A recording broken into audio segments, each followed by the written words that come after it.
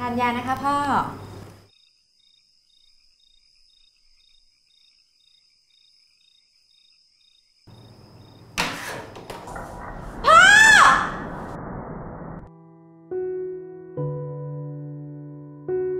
พ่ออายุ 72 ปี ป่วยเป็นมะเร็งระยะสุดท้าย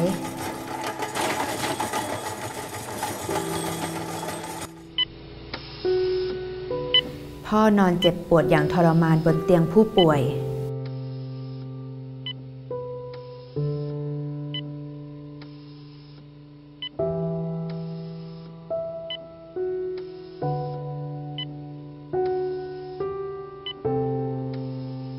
่อของคุณเป็นมะเร็งระยะสุดท้าย อาจจะอยู่ได้อีกไม่นาน และท่านก็ได้เขียนหนังสือแสดงเจตนาที่จะไม่ขอรับการรักษาในแบบที่จะยื้อชีวิตอีกต่อไป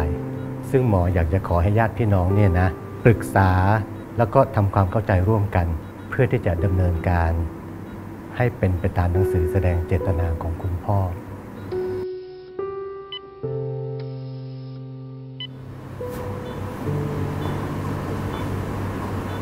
พ่อเคยบอกไว้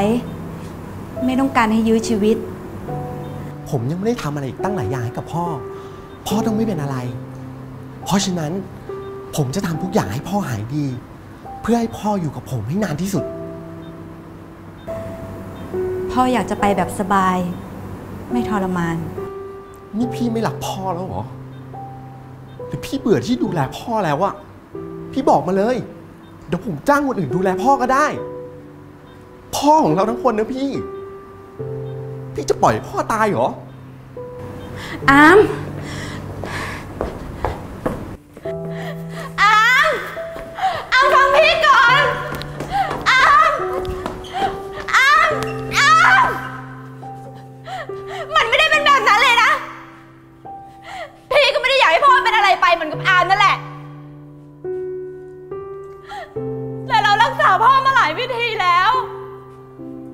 พ่อก็ไม่ดีขึ้น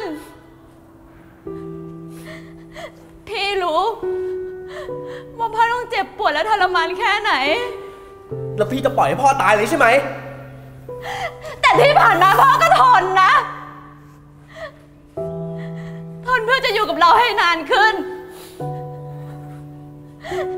แต่ในเมื่อมันเป็นแบบนี้อะเราทำดีที่สุดแล้วนะอามเรา ทำเต็มที่แล้ว พี่ถามอามหน่อยเถอะ เราจะยอมให้พ่อทนเจ็บแบบเนี้ย อีกนานแค่ไหน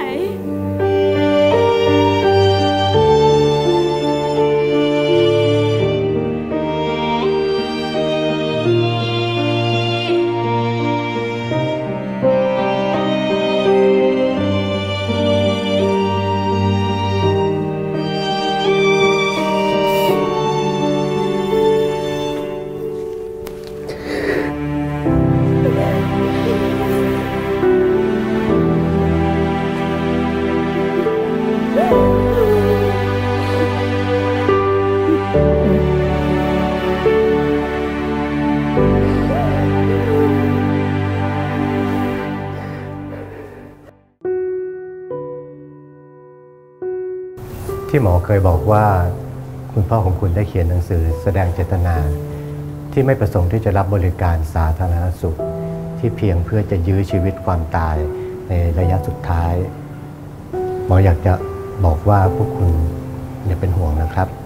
เพราะว่าทีมหมอและพยาบาลเนี่ยได้พยายามดูแลอย่างดี แบบประคับประคอง เพื่อไม่ให้มีอาการเจ็บปวดและทรมาน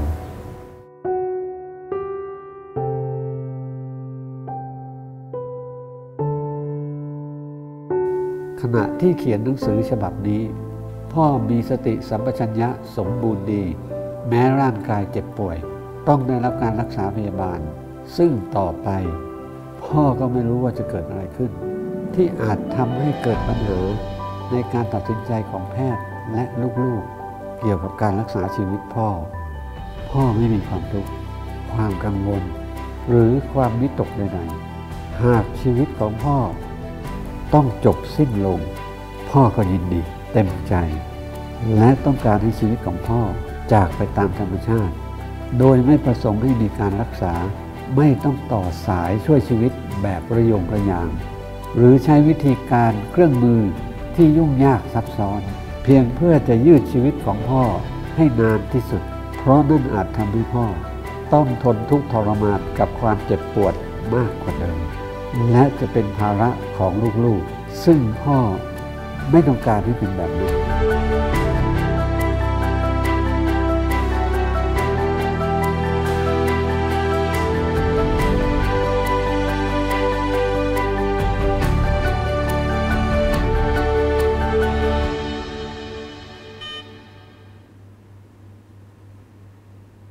สุดท้ายขอให้ลูกทั้งสอง